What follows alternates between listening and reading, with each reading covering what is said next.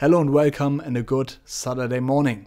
What could be a better thing to do than taking a self-test in modern portfolio theory from the Cambridge University? The cool thing about this test is I would say you can answer around 70% of the test just by having attended my Python for Finance course or also by just following my videos over the years.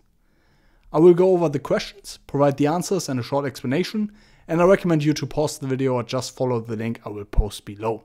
Try it on your own and let me know how much you've solved. Before we are starting important, this is a multiple choice test, so more than one answer or only one answer can be right, making guessing a lot harder. We are going over the first 15 questions. I want to see if you enjoy that kind of content, and if you do, we will go over the next 15. First one. The disadvantage of using variance as a risk measure is it ignores higher moments. It gives equal weight to upward and downward deviations from the expectation. It can be used in a forward and backward looking way. This one is quite straightforward. So first of all, A must be right because the problem with variance is it doesn't take skewness into account. In specific asset or stock returns are often skewed. Meaning, for instance, there are more very large positive returns than there are very large negative returns. And the variance is not taking this skewness of the return distribution into account. So A, right answer. B, also right, super important. When you take the variance as a risk measure, you don't care about upward movements. Every investor, including me and hopefully you, cannot be more happy about upward deviation from the return expectation, assuming you're long or hold the asset. The variance, however, is treating upward and downward movements the same. So you have an equal weight of up and downward movement, which in terms of risk measurement can be a disadvantage. C is wrong simply because it's a historical view. So final answer is A and B.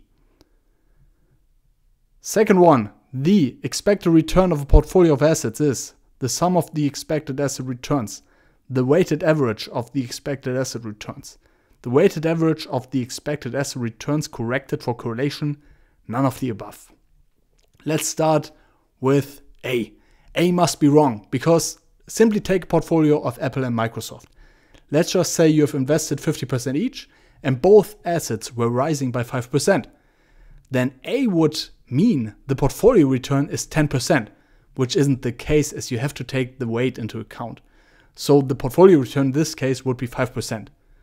Or in other words, answer B, the weighted average of the expected asset returns. C has nothing to do with the expected return, so that's wrong, and therefore D must also be wrong. So final answer, B. By the way, I've shown this calculation in detail in my course and also on YouTube. 3. The variance of a portfolio of assets is the sum of the asset variances, the weighted average of the asset variances, the weighted sum of the asset variances and covariances, none of the above. This is related to the previous one. In my course and the YouTube videos, I've shown in detail how you calculate the variance of a portfolio. So A is definitely wrong. It's, it's just not just the sum. B is also wrong because it's not just the weighted average of the asset variances, but it is C, the weighted sum of the asset variances and covariances. Therefore, D also must be wrong, so final answer is C. As said, check the course videos or the YouTube videos for a detailed calculation of both the portfolio variance and also the portfolio return. Four, unsystematic risk is the risk that disappears through diversification, market risk, the total risk of a poorly diversified portfolio, none of the above. That is a definition question. So A is right here, the risk that disappears through diversification. All others are wrong, so A final answer. Similar one, systematic risk, same answer possibilities here. So, straightforward, systematic risk is market risk per definition. Nothing more to add here. Six, the variance of a poorly diversified portfolio measures the risk that disappears through diversification, market risk, the total risk of that portfolio, none of the above.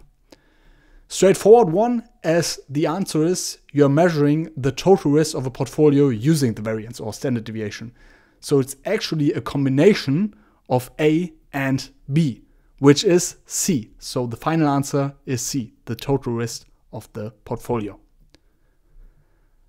Seven, the diversification effect reduces the total risk of a portfolio, the systematic risk, the unsystematic risk of a portfolio. You can only reduce the unsystematic risk using diversification, but that also means you can reduce the total risk of the portfolio.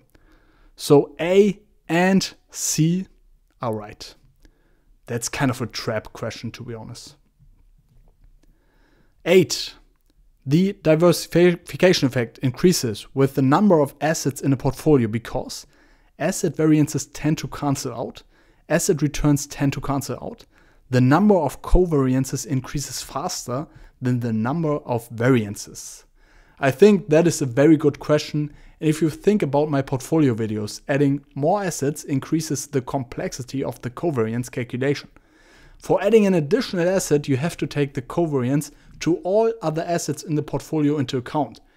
These covariances scale up and therefore have an effect on the diversification effect. So clearly, C is the right answer here. As a recommendation with the help of my course or videos, calculate the portfolio of n assets and then add more and more assets to it, you will see that the diversification effect will increase. So final answer is C. There is no cancelling out of variances or returns. 9. The beta of a poorly diversified portfolio measures the risk that disappears through diversification, market risk, total risk of a portfolio, none of the above. I've covered that in previous videos and in my course. Beta, per definition, is market risk, period. All other answers are wrong, so final answer is B. 10. The beta of an individual asset measures the asset's contribution to portfolio variance, the asset's sensitivity for changes in portfolio returns, the asset's systematic risk, the ratio of the asset's covariance with the portfolio and the portfolio variance. Tricky question per design, as all answers are right. It is the asset's contribution to portfolio variance. It also measures the sensitivity for changes in portfolio returns. It is by definition the systematic risk and it is also by definition or mathematical definition the ratio of the assets covariance with the portfolio and the portfolio variance. So not much to add or explain here since all answers are based on the understanding of what the beta is measuring and how it is mathematically defined. So all answers are right. A, B, C, D. 11. Variances are additive. Total variance equals weighted sum of the variances of the parts across assets in a portfolio, projects and activities in a company, debt and equity in a company, all of the above, none of the above. That's a tricky one. So in general, variances of EG2 components are additive if the covariance of these two components is zero. Otherwise, you need to take the covariance into account. And assets in a portfolio always have a covariance. Projects and activities always have a covariance. Debt and equity, covariance. So the final answer here is E, because it doesn't apply here, as all of the mentioned have a covariance other than zero. So final answer E.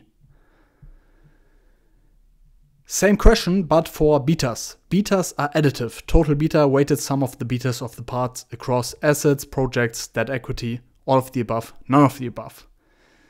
In this case, let's say you have a two asset portfolio. Then the portfolio beta is actually the weighted sum of the component betas, meaning 0.5 times beta of first asset plus 0.5 times beta of the second asset. So in this case, this also applies for the rest, project, debt equity, and so on. So final answer is D, all of the above. 13. The diversification effect of combining two assets is maximal if the correlation coefficient is minus 1, correlation coefficient is 1, correlation coefficient is 0, none of the above. I think this is one of the easiest ones if you give it a thought. When do you have maximum diversification? Assume you have a two asset portfolio again, and one of the assets is falling by 50%. and the other one is falling by 50% as well. That means that the correlation coefficient is 1, so plus 1, because they are moving exactly the same. But the desired diversification effect would be the exact opposite, namely an asset rising by 50% while the other, other one is dropping by 50%. And that is exactly when the correlation coefficient is minus 1. So final answer is A. Very popular thing to ask in interviews, by the way. 14. The market risk of a portfolio increases if an asset with a beta smaller one is added to the portfolio, an asset with a beta larger one is added to the portfolio, an asset with a beta equals 1 is added to the portfolio, none of the above. Now again, if you have followed my content, you know that adding an asset with a beta larger one increases the overall market risk of the portfolio. Logic is straightforward. Imagine you add an asset which is swinging more than the market. Whenever the market swings, the asset swings even more and is part of your portfolio, so it will increase the market risk of your portfolio. So A is wrong. C, market risk would be the same. Final answer is B. Markowitz efficient portfolios can cannot be cannot be replaced by portfolios that. So it's a cannot. It's a negative question here. So what is not possible here? Offer a higher expected return for the same risk, offer a higher expected return for a higher risk, offer a lower expected return for a lower risk, offer a lower risk for the same expected return, offer a lower expected return for the same risk. The only two right answers can be a higher expected return for the same risk and a lower risk for the same expected return. Everything else would be possible. Just imagine the efficient frontier line I've drawn in some of my tutorial videos, also in my Python for Finance course. You cannot get over this line. So you, you would have a portfolio which is above this line, and that isn't possible in Markowitz efficient portfolio case. So you can only be on that line. So A cannot be. You cannot get a higher expected return for the same level of risk. There is the efficient portfolio and you cannot be above that level. So for the same level of risk, you cannot get a higher expected return. And the same is true for the other case. You cannot have a lower risk for the same expected return. So these two aren't possible in Markowitz efficient portfolio world. Check the videos on Efficient Frontier in either my course or YouTube videos and just take a look at the shape of the frontier. It will become crystal clear then. And that's it for this video. Let me know how much you've solved. Thanks for watching and I'm looking forward to see you in the upcoming videos. Bye bye.